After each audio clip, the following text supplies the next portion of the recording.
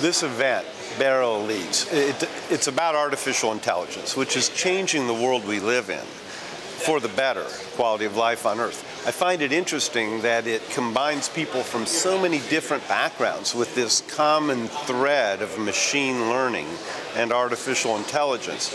And it's the same thread that we find inside the artificial intelligence systems. They bring different uh, groups together that wouldn't normally be found working together. That's powerful. When we use the term artificial intelligence, it's really applied differently in any business. It's not like a single magic entity. So a manager needs to learn how it can help him. I believe consultation with people that have already done some of it, maybe in the field that they're involved in or a nearby field.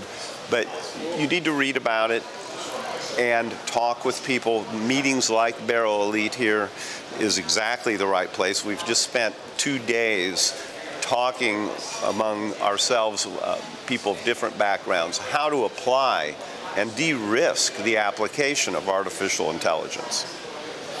The concept that a machine could become so smart to displace a human, it may occur here and there, but in general, this is going to create and is creating many more jobs of high quality, high technology, exactly the kind of thing we need to improve our quality of life and condition on Earth. I, was an astronaut in a formal, former career, and there the machine and the human have to work perfectly together uh, seamlessly.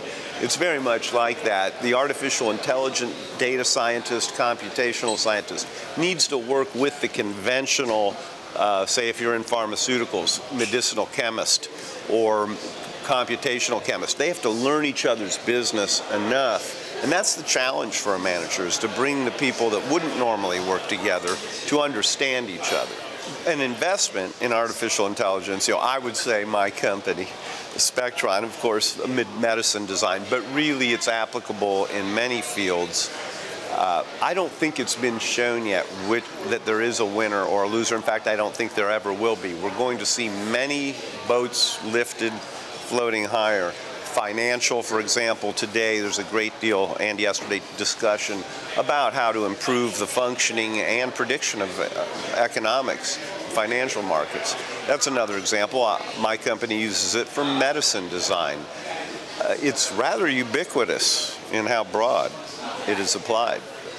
Artificial intelligence, of course, is based on information and data, and we have to make that data fit and be learnable. It's that conversion of raw data, curating it into learnable data that is it's it's as hard or it's as big a job as the machine learning itself, the algorithms. Uh, it's curation curation, curation like location, location, location, and that's its own science. It's evolving how to do that effectively. You know, the old question of how much does the manager need to know uh, to run the business? He either has to delegate or know it. I do believe at this point in time to make good decisions, a manager has to have a reasonable understanding. But uh, you're going to always surround yourself with people more capable than yourself, and you can rely on those data scientists and computational experts.